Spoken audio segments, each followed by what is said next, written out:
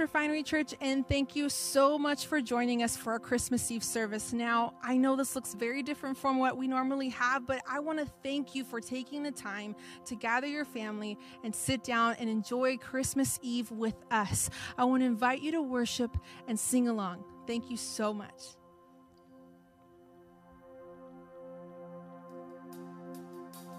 Joy to the world, the Lord is come. Let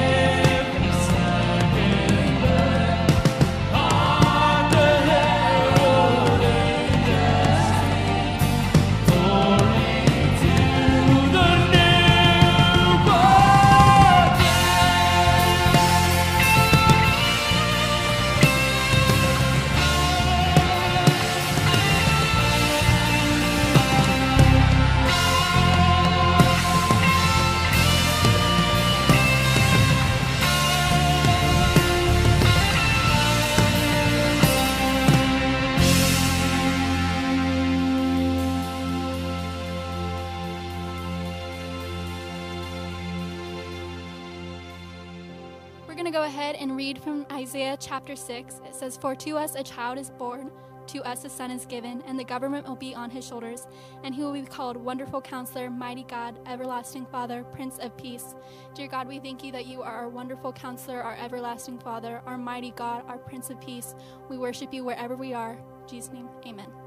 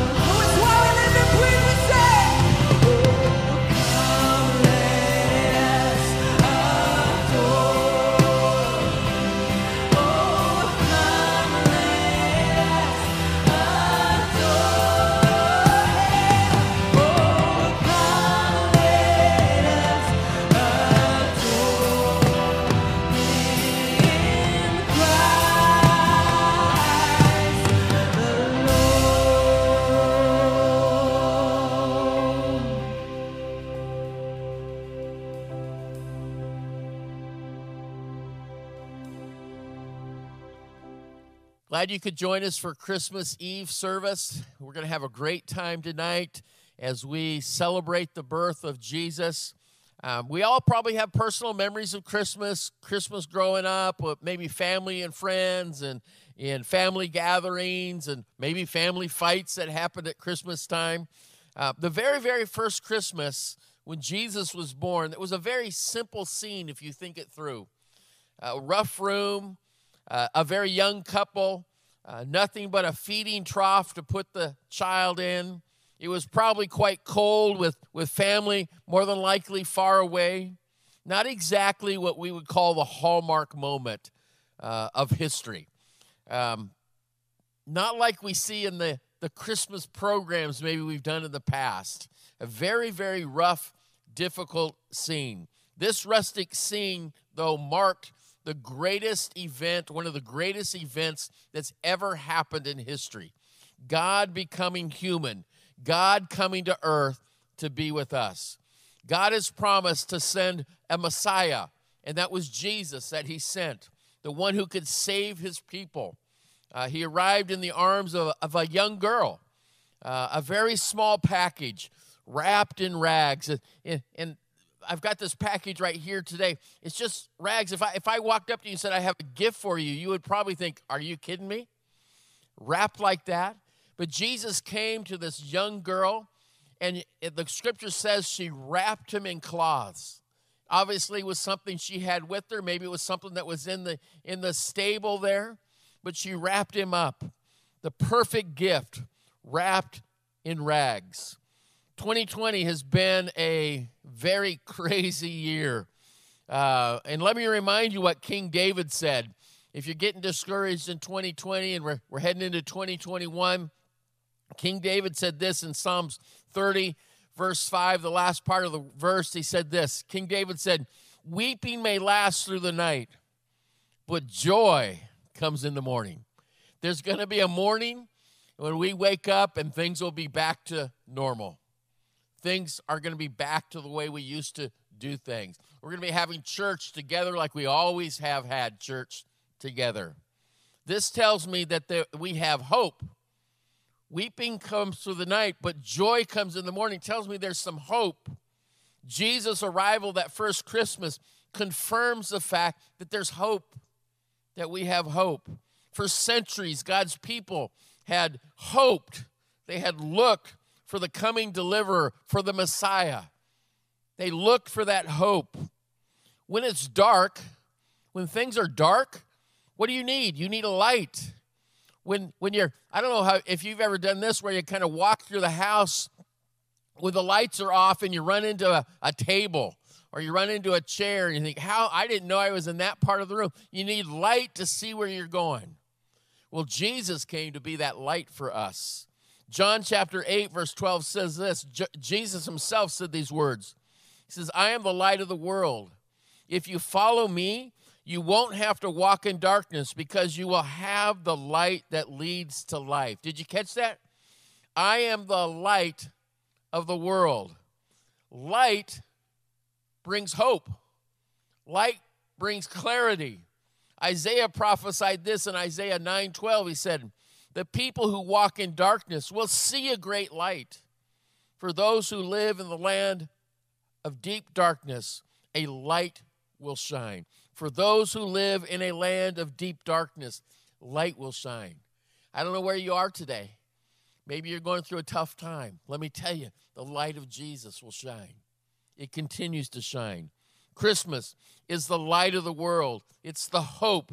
God moving into our neighborhood to light our way, to give us hope. Let me read you the story that we find in the scriptures. Luke chapter 2, and let me encourage you, if you got your Bible, to look at it with me. Luke chapter 2, verses 8 through 20 says this That night there were shepherds staying in the fields nearby, gathering their flocks of sheep. Suddenly, an angel of the Lord appeared among them, and the radiance of the Lord's glory surrounded them. They were terrified, but the angel assured them, Don't be afraid, he said. I bring you good news that will bring you great joy to all people. the Savior, yes, the Messiah, the Lord has been born today in Bethlehem, the city of David. And you will recognize him by this sign. You will find the baby wrapped snugly in strips of cloth, lying in a manger. Suddenly, the angel was joined by a vast of hosts of others, the armies of heaven, praising God and saying, Glory to God in the highest heaven, and peace on earth to those whom God is pleased. When the angels had returned to heaven, the shepherds said to each other, Let's go to Bethlehem. Let's see this thing that has happened, which the Lord has told us about. They hurried to the village, and they found Mary and Joseph there. Was the baby lying in the manger? After seeing him, the shepherds told everyone what had happened, what the angel had said about uh, what the angel had said to them about the child. All who heard the shepherd's story were astonished, but Mary kept all these things in her heart and thought about them often. The shepherds went back to their flocks, glorifying and praising God for all they had heard and seen. It was just as the angel had told them. Just as the angel told them. The Messiah has come. Jesus has come. Jesus was laid in a manger, wrapped in a cloth. And inside that cloth, we find the light of the world. Jesus is the light of the world. He is the one. He is the one who can bring us hope. He is the one who brings us peace. If you need hope today, let me remind you that Jesus is there for you. All you need to do is ask Jesus into your life. If you feel like 2020 has stolen your hope, refocus on Jesus, the light of the world. Let's sing together this evening.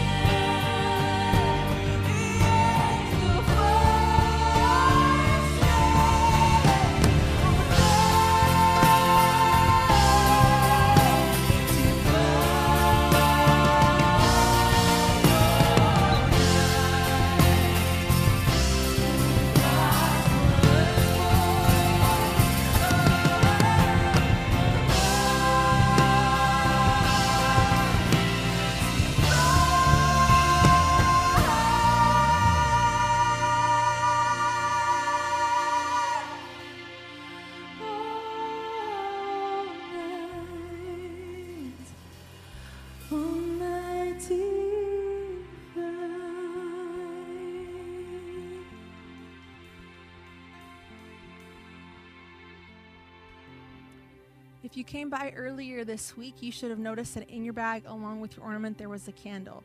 Now, if you weren't able to come by, this is also the opportunity to grab something nearby, whether you have a candle, whether it's a scented candle that could smell like Christmas.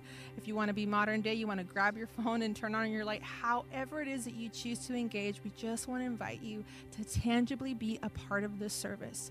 You'll notice that in the next song, there is a moment of just you'll hear some piano and a kind of a silence, and that's just for you to take the time to light the candle, say a prayer, and remember that the reason for this season, as cliche as that often sounds, is always and will be Jesus. So we invite you in this time, take out your candle, take out whatever it is that you're going to use to be a part of this time.